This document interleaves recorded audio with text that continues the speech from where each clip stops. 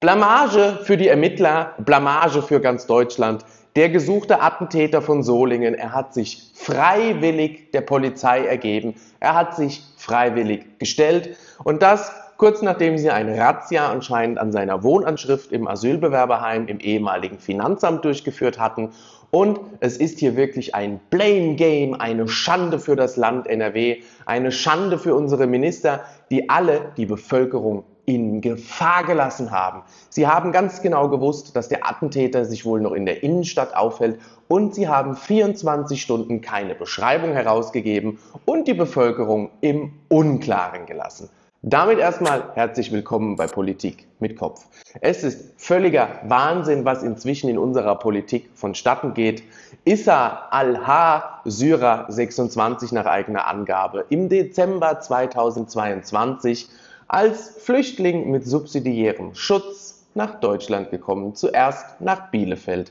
Und wie es anders nicht sein könnte, schon im Dezember 2022 hätte dieser junge Mann hier gar nicht einreisen dürfen, weil die Gegebenheiten für die Voraussetzungen mit dem Bürgerkrieg schon lange nicht mehr gegeben sind in Syrien. Ihr habt es letztens vermutlich bei jemand anderem gesehen. Es gibt inzwischen Musikfestivals. Es ist wieder soziales Leben in Syrien. Ich sage nicht, dass Frieden herrscht dort, aber man hätte diese bedingungslose Aufnahme von jedem, der sagt, er kommt von dort, schon vor langer Zeit beenden müssen.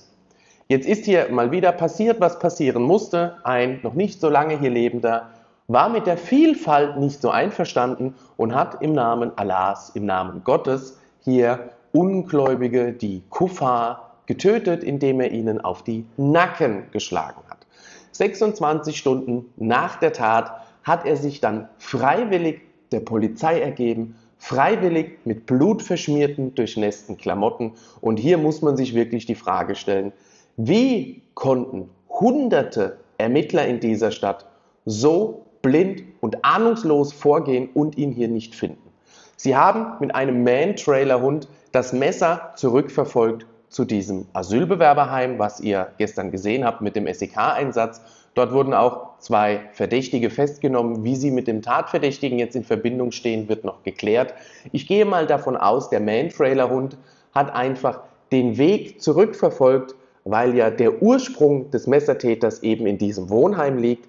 Gefunden hat ihn der Man-Trailer-Hund nicht. Er war ungefähr zwei, drei Höfe, Innenhöfe nur weiter und hat sich dort versteckt. Da frage ich mich, für was haben Sie die ganze Nacht Polizeihubschrauber im Einsatz gehabt? Jemanden, der sich im Innenhof stundenlang versteckt, müsste man mit einer Wärmebildkamera durchaus finden können. Auch, dass man hier keine Hunde eingesetzt hat, die offenkundig diese Blutspur aufnehmen, wenn man davon ausgegangen ist, dass der Täter nur zu Fuß, zu Fuß geflüchtet ist und gar nicht so weit weg ist, dann hätte man hier, wenn er in einem Innenhof sitzt, blutverschmiert, mit dem richtigen Suchhund ihn eigentlich ausfindig machen müssen. Noch schlimmer kommt jetzt hinzu, Sie wussten alle, dass es hier ein Anschlag des Islamischen Staates ist und sind vor die Presse getreten und haben einfach nichts gesagt. Sie haben darauf verwiesen, dass man jetzt zusammenstehen soll gegen Hass. Die jetzt Hass sehen wollen, ob dieser furchtbaren Tat. Gegen diejenigen, die spalten. Und diejenigen, die spalten, sind diejenigen, die in der Regierung sitzen und es Tag für Tag zulassen, dass solche wandelnden Gefahren hier weiter Teil unserer Gesellschaft sind. Und wir haben überhaupt keine Vorstellung davon, wie viel Tausende solcher, wie jetzt hier Isso al-Ha, wir in Deutschland haben. Es wird demnächst über uns hereinbrechen, wie über die Arsche die Flut, die Sintflut damals hereingebrochen ist und sie fabulieren immer noch mit Framing und gegen rechts und so weiter. Es ist absolut völliger Wahnsinn. Es ist völlig abstrus. Sie sind jenseits von jeder Realität. Wie kann man den Solingern nicht sagen einen ganzen Tag lang, dass man den Täter im Innenstadtbereich vermutet, bitte alle Verdächtigen melden und zu Hause bleiben? Nein, man hat dann einfach die Situation ausgesessen und nochmal, er kam von alleine auf die Polizisten zu und soll gesagt haben, ich bin der, den ihr sucht. Ja?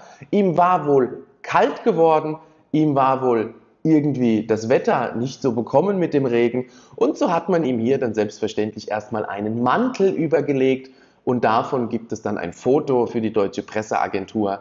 wie man ihn hier dann zum Polizeiwagen führt. Und hier muss man wirklich nur noch einmal sagen, wer hätte das gedacht, ja? Und wo sind sie, die ganzen Leute, die sagen, man ist Faschist, wenn man sagt arabischstämmiges Aussehen? Da muss man die Leute nur mal fragen, die sagen oder die behaupten, man könnte Leute am Aussehen nicht einklassifizieren. Sagt ihr dann zu einem Chinesen auch Mitteleuropäer oder Lateinamerikaner? Also gewisse optische Merkmale sind schon auffällig und ja, arabisch aussehen tun viele von Marokko bis Pakistan. Das ist eher die Beschreibung für jemanden aus dem, aus dem Norden Afrikas, aus dem Nahen oder Mittleren Osten mit muslimischem Glaubensursprung. Aber wenn man da schon wieder so weit geht, dann sind wir wieder bei der Nafri-Debatte. Aber immer dran denken, im Namen der Vielfalt wurde jetzt hier das Fest, wie hat es Ulf Porschat gesagt, Chefredakteur von Welt, da hat jemand ein Fest, bei dem Muslime mit Ungläubigen feiern, nicht ertragen können im Namen der Vielfalt. Das wäre ein besonderer Dorn im Auge des islamischen Staates, heißt es. Und hier kann man nur noch einmal wiederholen, aber die größte Gefahr in diesem Lande geht von rechts aus, selbstverständlich von Messermatze, von Jürgen, von Fritze. Wir kennen sie alle, unsere Serientäter in diesem Lande mit den Vollbärten, die sie alle tragen, mit den langen Messern, die sie alle bei sich haben. Natürlich. Und das Schlimme ist, sie nehmen kein Blatt vor den Mund, jetzt selbst vor den Wahlen im Osten, versuchen alle diese Taten hier zu instrumentalisieren. Dabei muss man nur mal sagen, hier braucht man nichts zu instrumentalisieren, denn gescheiterte Politik kostet im realen Leben. Menschenleben, da gibt es nichts drum rumzureden, da gibt es nichts dran rumzudoktern. Das sind einfach offenkundige Fakten. Wären die Millionen von Menschen nicht eingewandert, hätten wir eine Kriminalitätsstatistik wie ungefähr 2014 oder 2013. Aber nein, man hat alles ins Land geholt unter dem Deckmantel der Menschenliebe, der Menschenwürde, der Nächstenliebe, ohne zu beachten, ja, wir importieren uns Sicherheitsrisiken, das nennt man auch trojanisches Pferd, aber dazu hätte man in der Schule sein müssen, anstatt freitags auf den Klimademonstrationen. Der Generalbundesanwalt mit dem schönen Namen Jens Rommel hat jetzt selbstverständlich seine beiden Arschbacken auf diesen Fall gesetzt. Er hat die Ermittlungen jetzt an sich genommen, denn natürlich, es gibt eine Verhaftung mit einem mutmaßlichen Tatverdächtigen. Da kommt der Generalbundesanwalt, schnappt sich den, fliegt den nach Karlsruhe, schmeißt den da ins Loch zu, Sulea, zu Atae, den kennen wir noch aus Mannheim, nichts hört man, nichts wird gemacht, wo ich schon lange sage, die Anklage, die ist relativ einfach, die hätte schon lange fertig sein müssen. Da gibt es auch keine Verteidigungsstrategie. Wer mit einem Livestream beim Mord beobachtet wird, der wandert einfach lebenslänglich in den Bau. Ganz einfach. Aber der Generalbundesanwalt, er sitzt sich mal wieder den Arschblatt, wie auch bei Nord Stream. Zwei Jahre hat es gedauert, bis er mal jemanden angeblich herausgefunden hat, den man ja mal befragen könnte. Hier, Sie wollen uns an der Nase herumführen. Und da sage ich nur, Solingen wird jetzt auch wieder lange unter den Teppich gekehrt, bis sie ihn hier anklagen. Auch der Hinweis von mir auf die Hisbollah-Mitgliedschaft, völlig egal, völlig Banane muss man da sagen. Sie machen nur, was sie machen wollen. Und hier haben wir wieder den Terrorismus des islamischen Staates in unserem Land. Und jetzt geht sie wieder um die große Angst vor Nachahmern. Und da muss man mal sagen, da braucht es gar keine Nachahmer. Wir haben so viele solcher Taten jede Woche.